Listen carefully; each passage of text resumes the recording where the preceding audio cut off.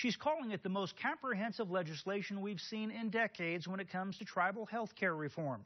South Dakota Representative Kristi Noem has toured several Indian Health Service hospitals, educating herself on the problems with IHS to draft her new legislation.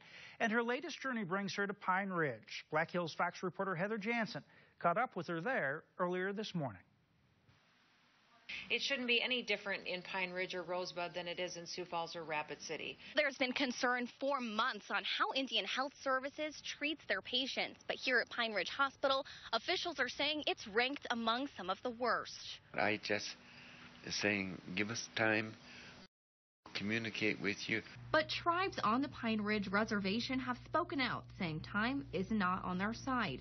Incorrect diagnoses leading to possible death long travel times to get the care they need from other hospitals, overcrowded wait rooms, and understaffing at their nearest IHS hospital. I think they're short 86 different positions within this hospital. All problems that many say just can't wait. But Kristi Noem is working on legislation to help.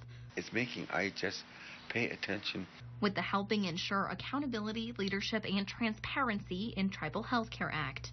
It would make uh, hiring individuals easier, incentivize uh, bringing them to Indian country to provide care. It's going to allow people to be demoted and fired, account for monies that they hoard away on the side uh, for their bonuses and not give it to uh, health care of an individual.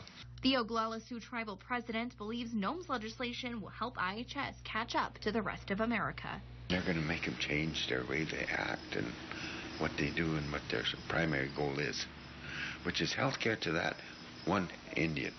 Operating to serve and not just for themselves, the end goal for Noem, tribes, and Indian Health Services.